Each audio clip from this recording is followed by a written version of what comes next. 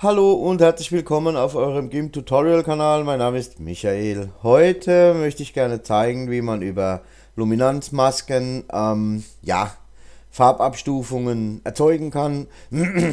Und äh, dazu werden wir Gmic benutzen, vor, vor, allem, ja, und ähm, dazu habe ich eben diese Vorlage hier gerichtet, die findet ihr wie immer in der Beschreibung des Videos, damit ihr das nachbauen könnt, ja.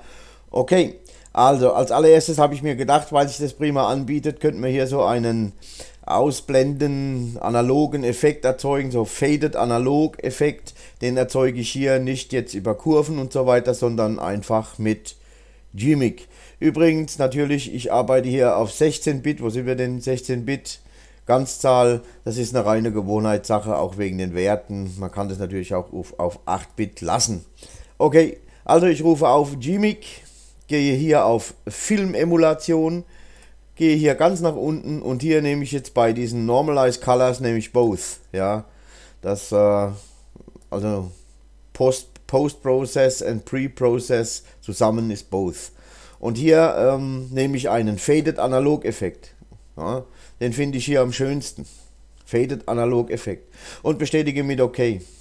Und ihr seht, das sieht ja schon mal ganz gut aus. Haben wir uns eine Menge Arbeit gespart. Hätten wir mit Kurven auch machen können. Aber lassen wir so. Gut, im nächsten Schritt werde ich diese Ebene jetzt hier 1, 2, 3, mal überlegen, 1, 2, 3, 4 mal duplizieren und schalte jetzt die oberen Ebenen aus, bis auf diese beiden hier unten. Ja, vielleicht kann ich die hier nochmal duplizieren, damit wir, damit wir die später als Vergleichsebene haben. Jetzt haben wir das hier so gerichtet und jetzt werde ich erst einmal Filter, alle Filter zurücksetzen, gehe auf Gmic und äh, bei Gmic rufe ich unter Lights and Shadows Slice Luminosity auf. Und hier haben wir vier verschiedene Regler, äh, also vier verschiedene Filter, ähm, die wir dann mit 1, 2, 3, 4 verschiedenen Reglern anpassen können. Und auch hier oben kann man verschiedene Anpassungen annehmen, also Lightness und so weiter. Hier kann man auch äh, verschiedene Anpassungen annehmen und auch hier äh, vornehmen. Ich mache das nicht, sondern ich werde jetzt eher einfach jeden Filter für sich nehmen. Und zwar werde ich jetzt hier diesen Activate Slice 2, den werde ich äh, deaktivieren. Und wir haben hier die Shadows, also Schatten. Ja. Und hier werde ich auch nichts verändern. Ich werde jetzt einfach die Standardwerte nehmen, die äh, hier ähm, von äh, Gmic vorgeschlagen werden und äh, äh, bestätige mit, mit OK. Ja. Und jetzt werde ich hier rechte Maustaste auf die obere Ebene, Auswahl aus Alpha-Kanal, dann gehe ich eine Ebene nach unten, rechte Maustaste, Ebenenmaske hinzufügen aus der Auswahl. Rechte Maustaste auf die Ebene oben drüber, Ebene löschen, die brauchen wir nicht mehr. Auswahl, nichts. Also haben wir hier erst einmal Schatten. Ja, so, die zwei, jetzt werde ich die dritte Ebene von oben markieren, gehe zurück auf Filter, Gmiga Neuanzeigen, nehme diesen Activate Slice 1 heraus und nehme 2. Ne? So werden wir dann weitermachen. Das sind die ähm, dunklen Mittentöne. Ja, so. Auch hier rechte Maustaste, Auswahl aus Alpha-Kanal, 1 nach unten gehen, Ebenenmaske hinzufügen aus der Auswahl. Hier die obere, äh, diese, diese Ebene können wir löschen, Auswahl, nichts. Und dann schreiben wir hier Low Mid Tones hinein, ja. So. Und die zweite Ebene von oben, Filter, Gmiga Neuanzeigen. Und jetzt werden wir hier deaktivieren und hier unten den äh, für die ja, für die helleren Bereiche in den Mitten aktivieren. Bestätige mit OK. Rechte Maustaste, Auswahl aus Alpha-Kanal, rechte Maustaste, eine Ebene darunter, Auswahl zur Auswahl hinzufügen, das kennt ihr ja schon. Die obere Ebene, hier diese entstandene Löschen, Auswahl nichts und ähm, ja, High, Midtones und ganz hier oben, mein Rechner, da heult schon wieder rum hier.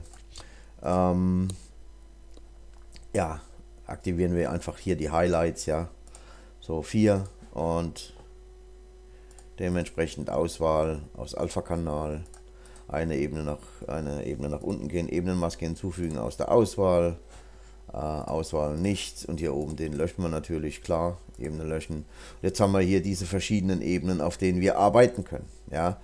Und als allererstes werde ich jetzt hier einmal Anpassungen vornehmen über den Werte, also Schieber hier, Werte, ja, äh, Farben, Werte, mal hier mein Verschieben-Werkzeug, Farben, na, jetzt geht es aber los hier, Werte.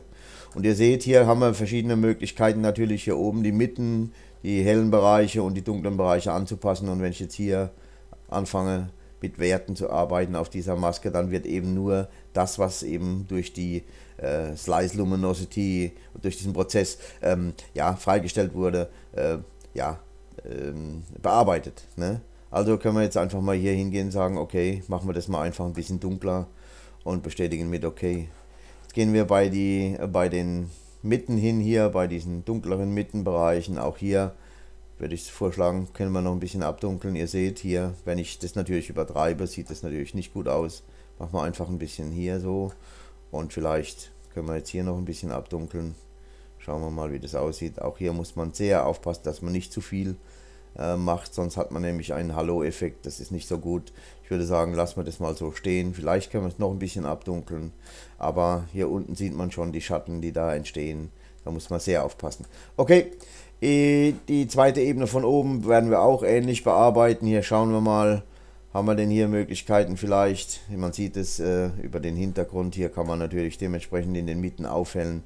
Und da muss man auch aufpassen, dass man äh, nicht, wie gesagt, besondere Effekte hier hineinbringt. Mal ein bisschen dunkler machen hier, nicht zu viel. Hier unten sieht man diese Geschichte hier vielleicht so. Und äh, können wir hier in den Mitten was machen. Auch hier ist es sehr gefährlich, wie gesagt, da muss man sehr aufpassen. Hier kann man so ein bisschen aufhellen, vielleicht maximal. Ach, lassen wir das so. Und die obere Ebene, die lasse ich jetzt mal so. Im nächsten Schritt können wir jetzt hingehen und können hier mit äh, Farben, Farbabgleich arbeiten. Ne? Auch hier lässt sich einiges machen. Wenig natürlich, aber dennoch immerhin ein bisschen was zurücksetzen und ähm, Helligkeit erhalten. Und wenn wir das hier wegnehmen, sehe ich gerade, dass es hier relativ wenig macht. Das eben, deswegen arbeiten wir hier einfach mit Sättigung weiter. Gehen auf Farben, Sättigung und hier werde ich vielleicht mal einen Wert von 1,5 vorschlagen und ihr seht, das ist einfach schon viel zu viel. Deswegen gehen wir mal zurück auf 1,25 und ähm, ja 1,2 vielleicht. Und auch hier können wir dann dementsprechend das bei allen ähm, Ebenen wiederholen. Farben. Da, was sehen wir denn? Wiederholen. Farben. Filter. Wiederholen. Filter. Äh, was sind wir denn hier? Wiederholen. Und im Grunde genommen wäre das jetzt schon der Vorschlag von mir, ähm, ja, wie so etwas aussehen kann, neu aus Sichtbarem. Ich mache das mal zu. Und jetzt natürlich äh, seht ihr schon den Unterschied hier, wie wir hier über diese Luminanz, Slice Luminosity Geschichte die Farben dementsprechend angepasst haben. Vorher haben wir ja unseren Filter hier, äh, diesen Analog Faded Filter genommen von hier von Gmic und hier haben wir mit der Sättigung gearbeitet und so weiter. Und die haben wir hier oben neu aus sichtbarem gemacht. Vielleicht können wir jetzt über Farbabgleich doch ein bisschen was machen. Schauen wir mal, wie sich das im Einzelnen, ne? das ist viel zu viel natürlich, logischerweise. Aber ich will das einfach mal zeigen. Jetzt könnt ihr natürlich hier dementsprechend noch, äh, ja, was auch immer bearbeiten. Möchte ich aber jetzt nicht mehr machen. Das Einzige, was ich jetzt noch machen werde, ist, ich werde Filter verbessern äh, unscharf maskieren nehmen und werde hier noch eine schöne Schärfung draufbringen. Muss halt ein bisschen aufpassen, dass das nicht zu sehr schärft, das Ganze. Nehmen wir das noch so ein bisschen zurück und bestätigen mit OK. Und ja, das wäre es im Grunde genommen gewesen. Wir sehen hier unten noch im Hintergrund diese Halo-Effekte, die entstanden sind, ne, an den Flügeln oder was das hier ist. Oder das sind wahrscheinlich Berge und Menschen. Keine Ahnung, hier ist Wasser. Und äh, das werden wir ganz einfach beseitigen, das zeige ich noch. Da gehen wir einfach hin, nehmen hier unser ähm, Weichzeichnen-Werkzeug, machen das mal ein bisschen größer hier, vielleicht so. Und ähm, ja, Jetzt werden wir hier einfach drüber gehen und werden diese Kanten dementsprechend einfach weich zeichnen. Und somit haben wir hier auch dann später bei dem Foto, falls wir das entwickeln lassen wollen und so weiter, hier diese Übergänge weich gezeichnet.